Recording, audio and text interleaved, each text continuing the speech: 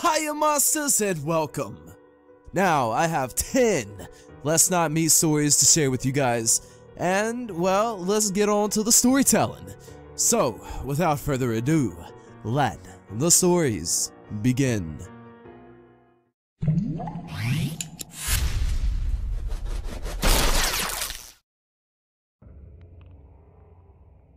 My Mom's Friend by Zero Ad General. This story takes place throughout the entire year of 2010, which was my senior year of high school. This is a story also told in the perspective of a male. Anyways, let's get on to the story.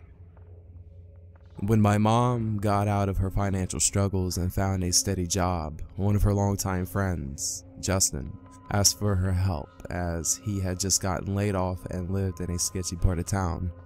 My mother was friendly and didn't mind company since she had been single ever since I was born.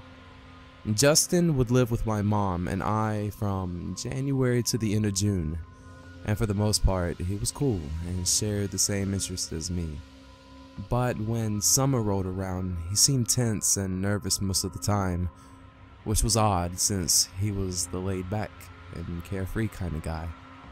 When my mom realized he no longer needed our help and basically freeloaded off of us, they got into a heated argument and my mom kicked him out.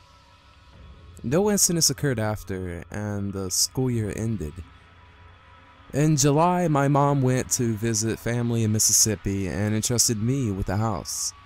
Unlike any other teenager with an opportunity like this, I invited all my close friends over to, you know, bullshit around. We all passed out around 2 a.m. and everything was fine. It could not have been over 10 minutes when I was jolted awake by a loud knock at the front door. My stomach sunk as I thought my mom had come home early and noticed all the cars parked outside the house. But when I peered out the upstairs window overlooking the driveway to see who had pulled in, my mom's car wasn't there. It was Justin's. In my confused state, I decided to wait it out and see if he'd leave. The knocking stopped, and after what felt like years, I heard the front door open. I start to frantically wake up my friends and tell them that Justin just walked into the house. Now keep in mind, these guys know who I'm talking about since they've seen him before. The four of us were still tired and pretty much in a daze as we walked out of the living room and peered down the staircase that overlooked the entryway. We saw the outline of Justin's body just standing there. At this point, we freaked out and I have no idea how he got in or why he was here when suddenly Justin starts running towards us and sprinting up the staircase. Justin's able to quickly get up the staircase and all we can do is stumble over each other in the darkness trying to get back to the living room. Justin was able to get up the stairs and turn on the hallway light before we could hide, and as soon as he turns on the light and sees us drunken and scared shitless, he smiles and says, Sorry, I thought you were your mom. Then he turns the light back off and calmly walks down the stairs and leaves. When my mom got back from her short trip, I told my friends not to mention the incident to her in the future unless something else happens with Justin uh, no further incidents occurred, and I moved out for college. Neither me or my mom have even seen Justin since then. I assume he moved on and left us be. But even now, this has always been in the back of my mind.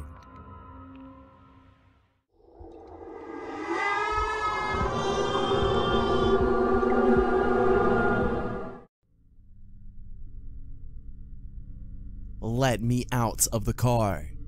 By, you clever girl.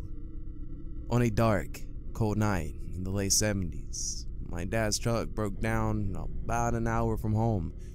He started walking and put his thumb out for hitching a ride and was soon picked up by a middle-aged man in a brown sedan. My dad gets into the car. Thanks, man.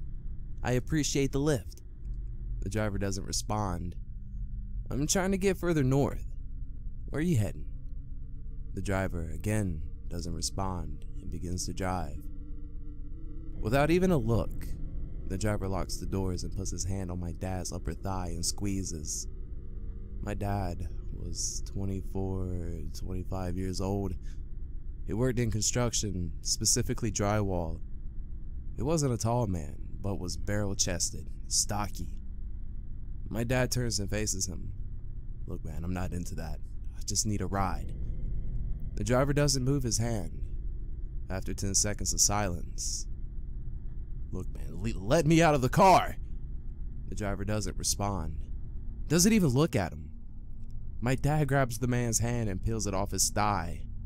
Look, dude, let me out of the car, motherfucker. I will kick your fucking ass. Let me out now. My dad was ready to strike. Without a word, again without even looking at him, the driver pulls over, unlocks the door. My dad jumps out. The driver peels off. And my dad eventually arrives home and tells everyone what happened. And the family doesn't believe him. Now, a few years later, he's dating my mom. They're watching the news, which is covering the arrest of a serial killer, John Wayne Gacy. My mom said my dad went pale. My dad jumped out of his chair, shaking violently, and started screaming and pointing at the TV. That, that's him! That's the guy who picked me up! My mom says she believed him immediately. My dad wasn't much of a liar or a prankster. He was pretty blunt about things. He was a rather quiet man and didn't crave attention. I was so intrigued by this incident that in the late 90s I read a few books on Gacy, including one written based on his interviews. And Gacy picked up countless hitchhikers over a multi-year period in the 70s. Sometimes he would pick up hitchhikers and take them wherever they wanted to go, without incident. Now the timeline, details, geography, MO were all consistent. My theory is that Gacy picked my dad up thinking he was younger than he was and then tested out my dad's reaction. My dad was a bit older than Gacy's target age of uh, 18, 20, but my dad fought back aggressively, and immediately, Gacy figured he wasn't worth the trouble, and possibly also realized that my dad was not as young as he looked. Now, a few years ago, my husband and I were at an event, and we started chit-chatting with a couple seated at our table. For some unremembered reason, I told this story. The female half of the couple turned white and stared at me, mouth wide open. She said that her uncle has had an almost identical Gacy encounter. I'm just so sad for those who were unable to escape.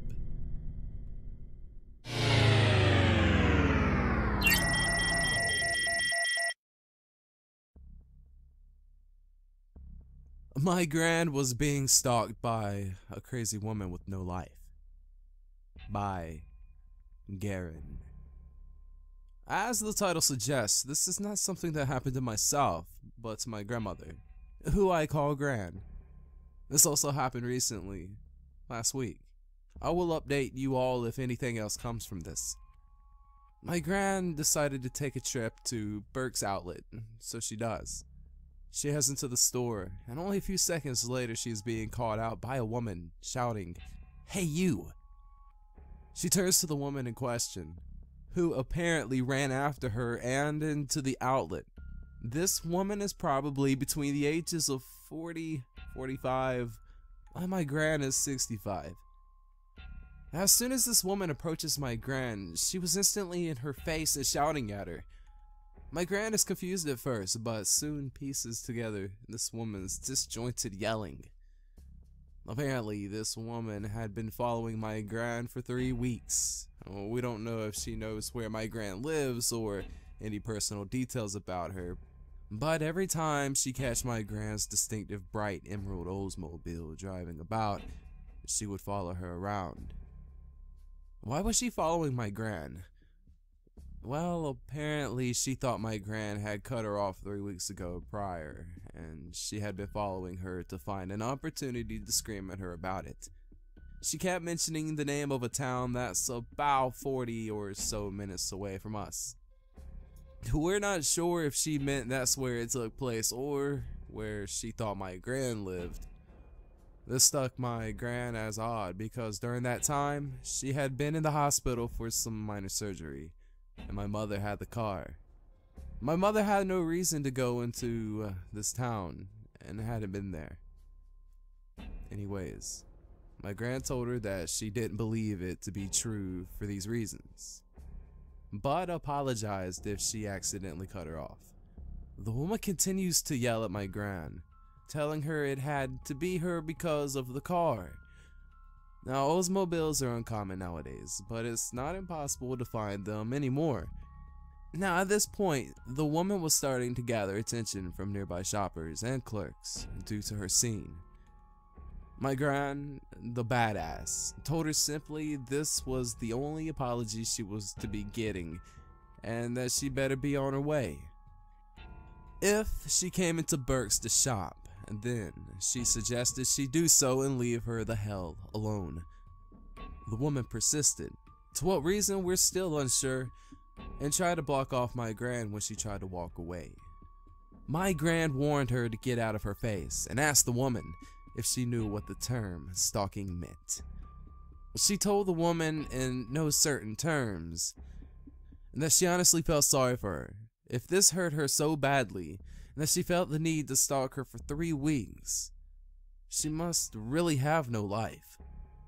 Two more times my gran had warned her to get out of her face, and my gran was getting very close to getting into a fist fight with this woman. She started to look around and my gran felt that the woman realized she was about to ask someone to call the police. That's when the woman finally left her and walked deeper into the store. A few moments later, she hurried out with apparently no intention to shop. My gran sort of laughed an embarrassed laugh and told the woman at the front desk that she was gonna just chill out around here for a bit because she didn't want to go outside and risk further confrontation.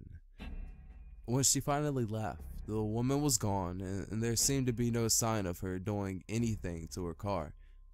That was good. And she strolled around for a bit to see if anyone was following her before finally driving home. Crazy ass bitch who felt the need to stalk a 65 year old woman for three weeks under the assumption that she cut you off. I hope my grand does not meet you again. You might not like the outcome.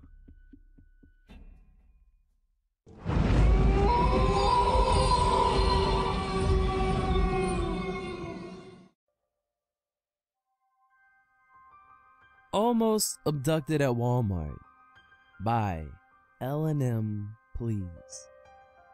This happened several years ago. One summer, on a random weekend, my family and I decided to go to Walmart to pick up a few things. When the whole family went as a group, we would usually split up. My younger brother stayed with my mom, and I stayed with my dad. So, Dad and I made our way back to the electronics section, and, as was typical for every 14 year old girl, I went to look at the CDs as Dad browsed big screen TVs and computer monitors a couple of aisles over. I was enveloped in Hilary Duff's new CD, reading all the track titles, when I felt someone standing right behind me. Someone tall. I turned around, expecting to see my dad making a goofy face, but it was a stranger. A tall man in his late 30s. And he had a creepy as hell grin on his face. Hi, he said, not breaking eye contact with me. Uh, hi, I replied. I played softball, so I thought it might be a softball dad. Now, as strange as that sounds, in my small town, I was sort of used to grown men approaching my dad and I, and talking about softball or how their daughters went to the same school as I did.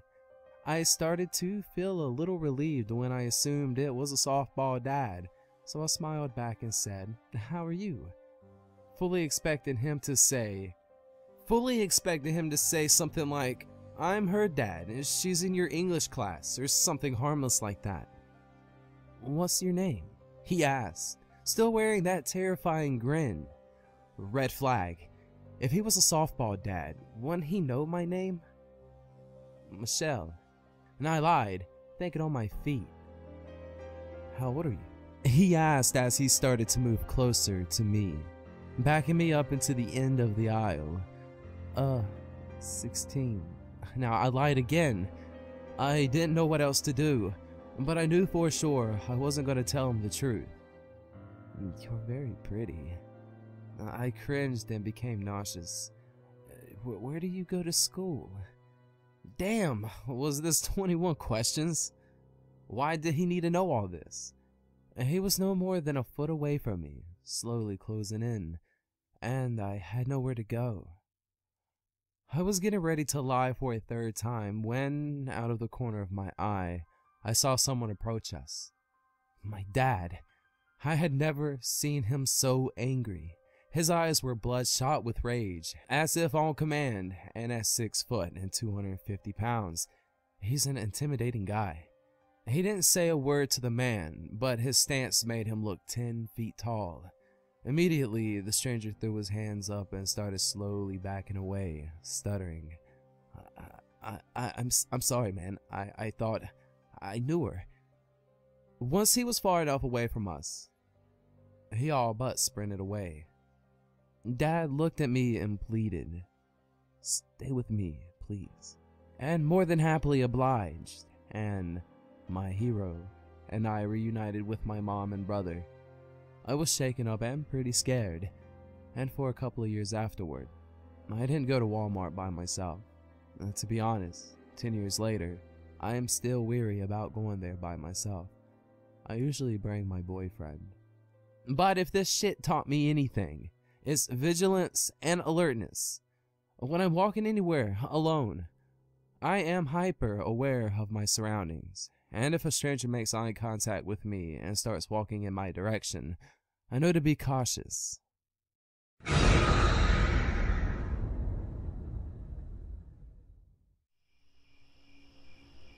Under the Bridge by Persienne. This story was told by my aunt. It takes place in the 70s, uh, when my aunt was a teenager.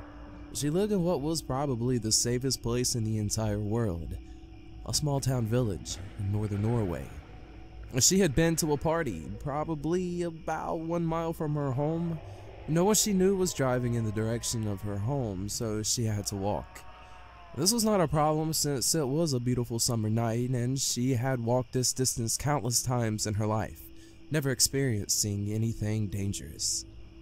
The walk was mostly on gravel, passing a couple of houses and farms, but mostly just fields and woods beautiful scenic landscape with nights as bright as day. If you've been to northern Norway, you know what I mean. When she'd gotten about halfway home, she noticed a car driving behind her. It was a white van. She had never seen it before. This was strange, since around here everyone knew each other. It was unusual for out-of-towners to be driving here, especially at this time of night. At this point, my aunt was almost at the bridge. And she had to cross to get home this was a pretty big and long bridge going over a large lake. The van drove past her, very slowly. Inside were two men she had never seen before, staring at her. When the van had driven past her, it sped up. She got this horrible feeling like something terrible was about to happen. She knew the van had to drive over the bridge and then some more before they would be able to turn around this gave her a couple of minutes to get away. She considered running into the woods, um, but she knew she had to get back here anyway to cross the bridge. She decided that hiding under the bridge would be best. From afar, it looked like there was no space between the bridge and the water, but she had been playing there as a kid, and she knew if she went under the bridge, there was a little space you could sit in without getting wet. As soon as she got under the bridge, she heard the van return. It stopped right over her, and the two men got out. I saw a girl. She was right here, man. Where is she now? One of the men said. Uh, she probably ran into the woods. We won't find her. The other man replied. They both got back in the van and drove off. My aunt sat under the bridge for about 30 minutes, scared the two men would come back. Then she heard another car approaching. This time, thank God, the sound was familiar and she recognized the car belonging to her neighbor. He drove her home. She told him she had had way too much to drink and had fallen asleep by the bridge, not mentioning the van or the men. For some reason, she didn't tell anyone this story until years later. Maybe she was afraid her strict father wouldn't let her go out anymore to parties and such. I live in a town not far from where this happened, and still I go back to my aunt's and mother's childhood home from time to time. Every time I go over this bridge, I get the chills.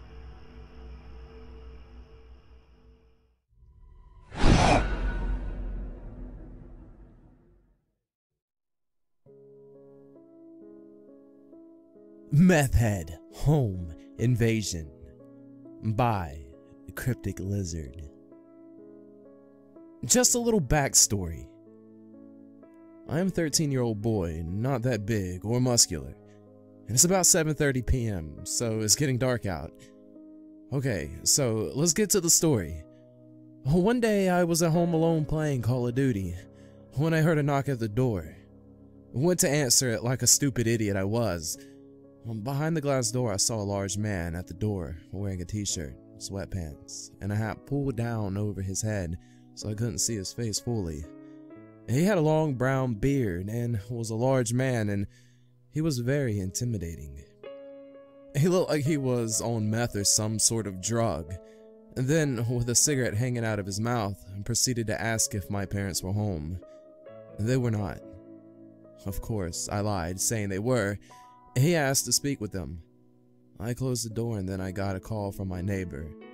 Apparently, he had seen me from his porch while he was smoking. My neighbor was a 230 pound former boxer and not somebody you want to fuck with. He said he noticed somebody outside my house and asked if I was okay. I said no and I told him that there was this guy. I wasn't for sure, but he looked like he was on meth. He, he said that he would talk to the guy. I was watching from my window as my neighbor walked over to the man. My neighbor proceeded to yell at the man. My neighbor told me that the man said he was from the gas company. He never specified which one. The man finally got into his beat up white, unmarked van and sped off down the road, out of sight. I have a feeling like my neighbor wasn't home on his porch. I might not be here typing this right now the rapist or robber, I think it's best for the best if we don't meet again.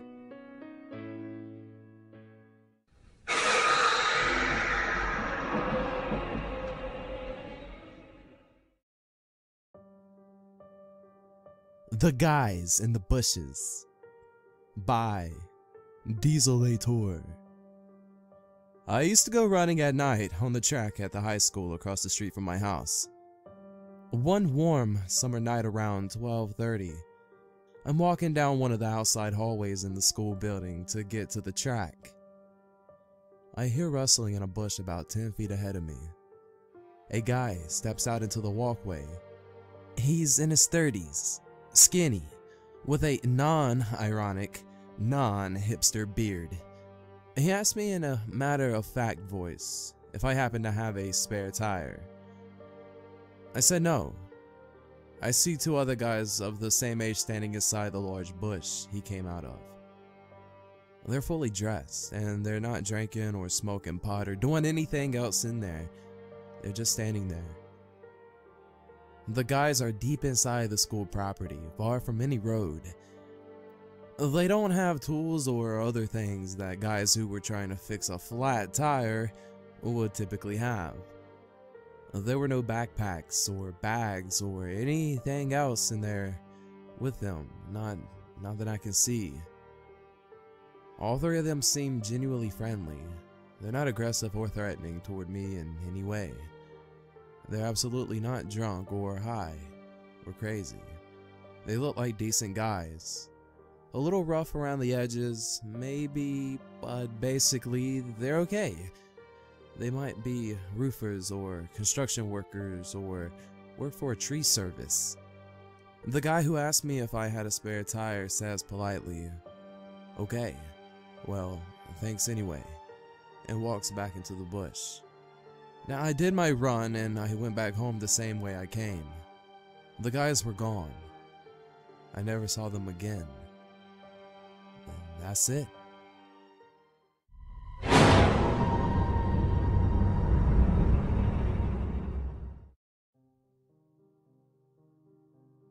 I was home alone most nights. By Jimmy of Suburbia. So, I grew up in Las Vegas. I had moved there when I was in second grade.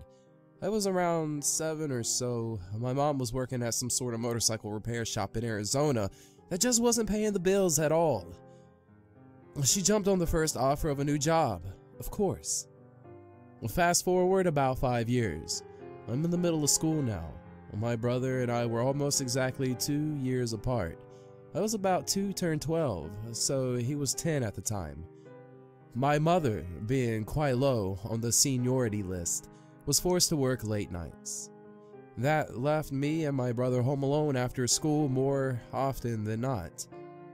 Our nights were usually pretty uneventful, usually consisted of us avoiding whatever homework was assigned, warming up leftovers in the microwave and watching whatever sparked our interest on TV, which was usually either WWE wrestling or some kind of cartoon. We usually ended up in the bed before our mom got home. But occasionally we'd wait up for her. Well, one night, or I suppose one afternoon, considering it was still broad daylight, everything was pretty normal.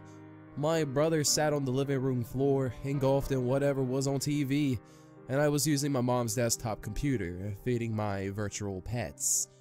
then there was a rather aggressive knock at the door, which was very odd. I was sort of an outcast child. I didn't really have too many friends, nor did my brother. Even then, we, we lived in what you would consider a senior living community. My mother was the youngest adult there. She was around her mid 30s. My brother, being too short to reach the peephole, doesn't move. Well, only slightly. Just to look at me. I get up from the computer chair and make my way to the front door to glance out the peephole. I see a man in a black ski mask staring back at me through the peephole. It definitely didn't seem real. It sort of seemed like something from a cliche movie, as if he was dressed to rob a bank. I was immediately scared shitless, and I obviously didn't bother asking who it was. I silently stepped away, shut off the TV, grabbed my brother and our small black Pomeranian, and ran towards my bedroom. Once we were safely hidden in my closet, I informed him of what I saw outside. I slid the tiny flip phone our mom left us for emergencies from my pocket and dialed 911. I whispered to the operator the entirety of the call as I didn't think the man had left considering the knocks persisted after we left the living room. Yet somehow she understood me and sent an officer over. Immediately after the call ended with the operator, I dialed for our mother. I explained everything to her. She ended up leaving work early and ended up home around the same time the police had. I'm not quite sure what deterred him of pursuing further, but of course, the man was gone by the time they both arrived. The officer was clearly not taking any of it seriously, most likely thinking these two young boys were just paranoid from staying home alone. It was probably some young man playing a joke on a friend of his. That was his explanation.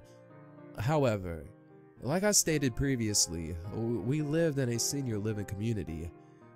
Who could he possibly be playing a joke on? His dear grandmother?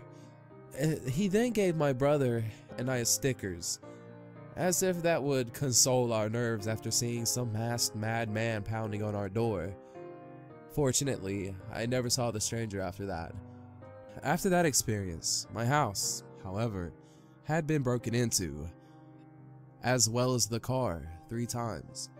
Thankfully, none of us were present when any of this took place. Since my family and I moved out of state and installed a security system. Nevertheless, creepy ski mask man, let's not meet.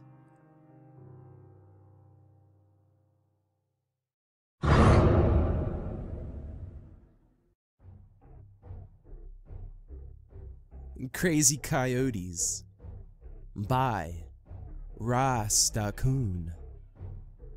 That was first post on Reddit, so excuse me for any mistakes and the like.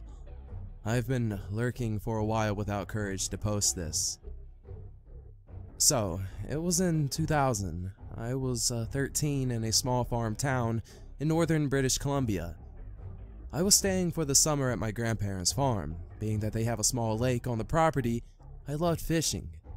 And I liked this girl down the street. Around one of the last days I was staying there, I told the girl to come by around 8 p.m. Around dark for dinner. yeah, I know it's pretty late for dinner. But I told her that I would be in the front to open the gate. Uh, this gate could not be locked. I guess it was just there to, well, be there. So, around 7.55, I waited and saw her coming down the street, and I called her, Hey, hurry up, it's getting cold here. She started walking faster, and I heard a sound that would haunt me forever. First, I thought it was just a dog barking, but then, holy shit, the sound of about 20, 30, well, okay, I'm exaggerating a little bit, and coyotes started yiping their brains out like mad and coming down the street fast and freaked my 13 year old self the hell out. I screamed, Quick! They're coming! To the girl, but she was shocked. So I ran over there about 40 meters and grabbed her in my arms. And she was small, luckily. And I dashed for the fence opening and continued my sprint to the house, which was about 100 meters. When I got to the house, I dropped her on the floor. Now, I didn't realize the pack was on our heels the whole time because well, the gate doesn't lock. My grandpa slammed the door shut and placed two bookshelves in front. We all hid in my bedroom and we heard the coyotes. Now, to this day, I can only assume they were coyotes, destroying the door and other stuff in front of my house. And being redneckish, we went on to eat dinner and fixed the door the next day, not caring about what happened just the night before. Well, I lost touch with the girl and now that I think about it, we could have died. So, crazy coyotes, let's not meet again.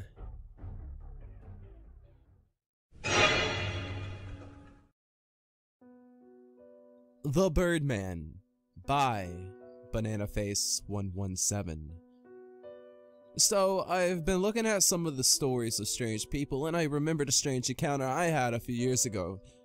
Here's some backstory. My family has been going to a ski resort in Vermont for about five years during Christmas break, and this happened during our third year. So, here it is. On the second day of our vacation, we had a ski instructor who pointed out a man skiing down the mountain who had small black parts falling off of his jacket. Our instructor named him Birdman because he was a crazy guy who made his jacket out of road-killed birds. He apparently lived on the mountain and is known for harassing people on the slopes and in the gondolas. For some unreason, however, the resort isn't allowed to kick him off the slope. So we go through our lesson and we, my 10 year old little brother, John, and I, at the time I was 13, notice this guy is always behind us on the slope. So, after the lesson, our parents want to go home, but John and I want to stay. My parents are always nice to us, and because we know the way back to our condo, they allow us to stay out and ski a bit more. My brother and I ski to the very bottom of the mountain and we arrive at the longest gondola on the mountain. I begin to smell a rotting stench and when I turn around, I'm horrified. This Birdman has followed us to the bottom of the mountain and is about to get on the gondola with us. Now the bottom of the mountain is almost empty so when we get into the gondola it's just me, my brother, and this crazy guy.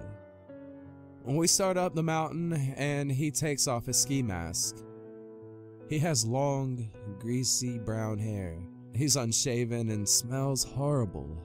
He starts to smile and shows his incredibly crooked teeth, and they look like they haven't been brushed in years. He starts to speak, and his breath smells like cigarettes and alcohol. He asks us where our parents were and if we want to ski with him. I immediately tense up because I know that we were alone with a random, creepy guy and we'll be about 10 minutes before we get to the mid station. He then looks at my brother, smiles, and tries to grab his ski poles. I instantly put my hand out to block his attempt to grab my brother and he swats my arm away. I look up and see that we are approaching the mid station and I get ready to get off because I know that there's a double chair and we can get away. We get off the gondola quickly and I notice he is getting off too. My brother and I sprint, or at least waddle quickly in winter gear and ski boots into the double chair. We hop on and we see him get on three chairs back.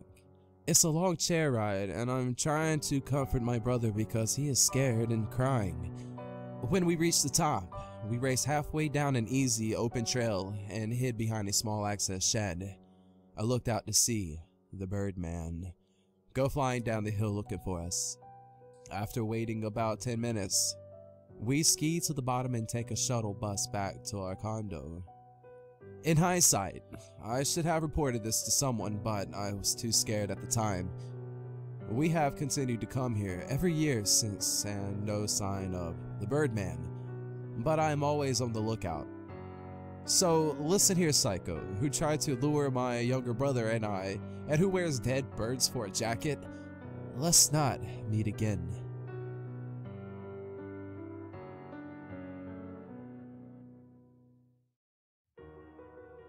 Well, there you have it. 10 Let's Not Meet stories from Reddit. The links to these stories will be in the description. I really hope you guys enjoyed this. Uh, be sure to leave comments below, hit that like button, and subscribe. It really does help out. So, monsters, until next time.